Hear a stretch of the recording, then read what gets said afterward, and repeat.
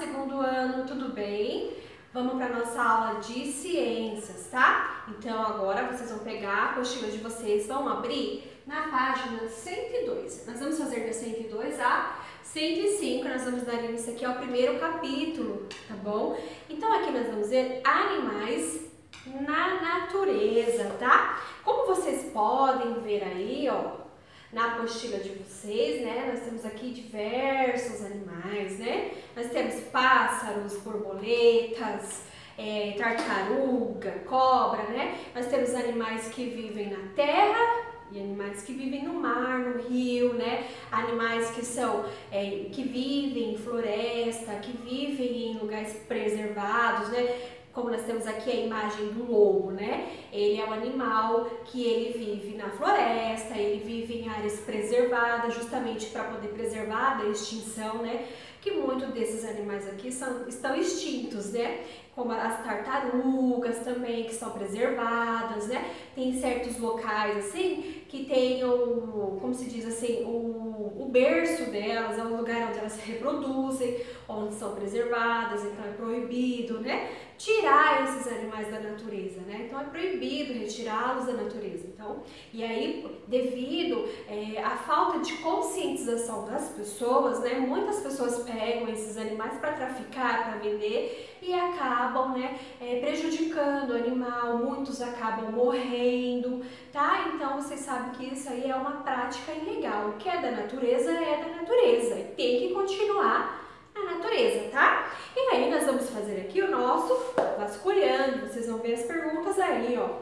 Quais animais vocês reconhecem nessa imagem, tá? Olhando aqui, quais que vocês conhecem, já viram, tá? Todos eles vivem, eles vivem em locais semelhantes, né? Todos eles, analisem bem, né? É, quais as diferenças você observa entre borboletas e pássaros, né? Elas têm um, elas voam, tanto pássaro como borboleta voam, mas eles também têm diferença. Quais são essas diferenças, tá?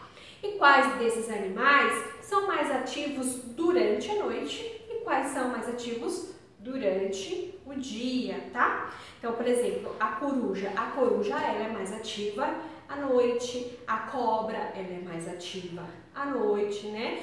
O pássaro é mais ativo durante o dia, então nós temos aí, tá? Essas diferenças, tá bom?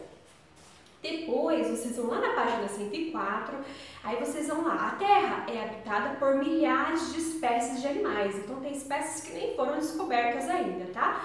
Algumas delas convivem com seres humanos, mas muitas outras estão em contato direto somente com a natureza, tá? Seja em terra firme, seja nas águas do nosso planeta. Então aqui vocês vão fazer, ó. Você já viu muitos animais? Como eles são? Escreva no quadro o nome de quatro animais que você conhece, desenhe e conte, né, é, onde você viu esses animais. Então aqui, ó, vocês vão desenhar quatro animais que vocês conhecem, que vocês já viram, tá? Vão desenhar e colocar onde vocês viram esse animal, tá? E depois aqui, ó, virando na página 105, identifique quatro animais que o outro colega desenhou. Então, o que, que precisa acontecer aqui para você saber qual foi o animal que seu amigo desenhou?